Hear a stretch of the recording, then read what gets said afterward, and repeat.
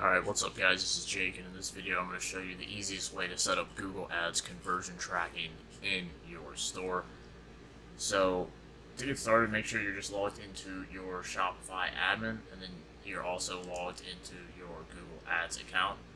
And then we're going to come over to our Shopify admin and click on Apps, and then go down to Apps and Sales Channels,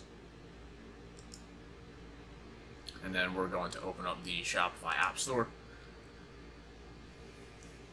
And then we're going to search for the Google and YouTube app up here. You can see for me it's showing up recommended right here, but you can just search for it up here as well.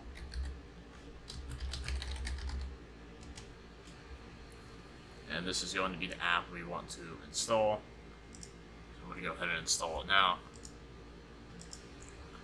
And once we've installed the app, all we're going to have to do is connect our Google account. So I'm going to go ahead and click on Connect Google Account right here.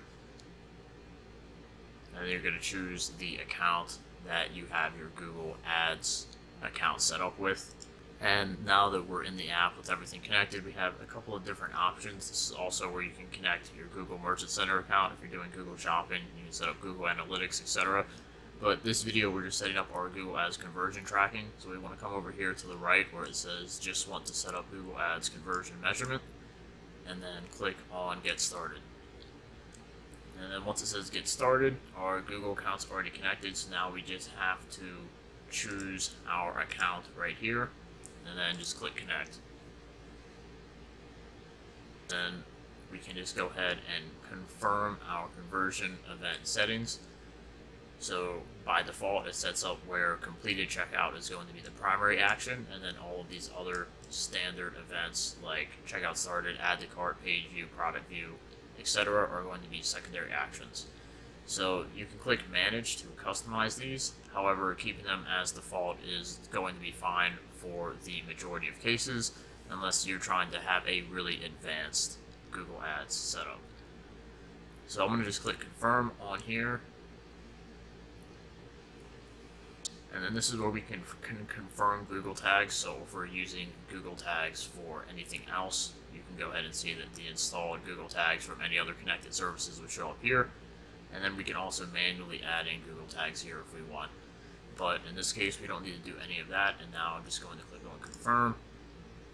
And then we can click complete setup.